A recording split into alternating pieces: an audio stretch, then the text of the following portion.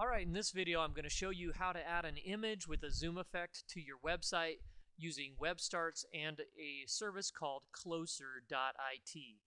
It's just like the image pictured here. You've got a little plus and a little minus and you can zoom in on any part of the image. It's great if you're selling a product and you want to give your site visitors a little bit better look at uh, a certain product. So here we go. Let me show you how I made this and how I added it to my website. So to get started, you're going to want to go to closr.it. That's C-L-O-S-R dot I-T. And then you're going to want to create an account.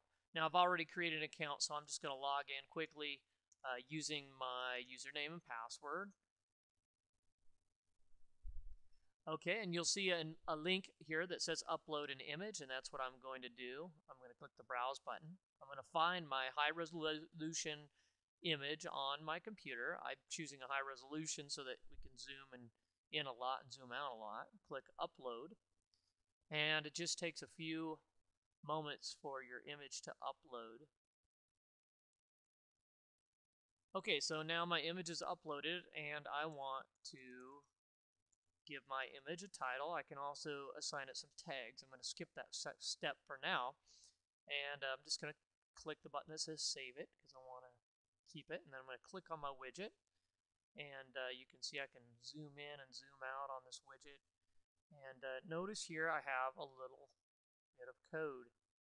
So what I can do is I can select this code and uh, click copy code and I'm going to go to my website and I'm going to click on my insert HTML code icon on the page that I want to add this image to and then I just simply paste that.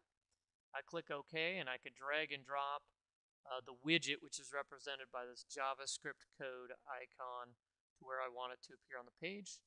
I click save and boom you can view my final product which is that zoomable image so don't forget to visit webstarts.com to see more helpful videos like this and also to build your very own free website.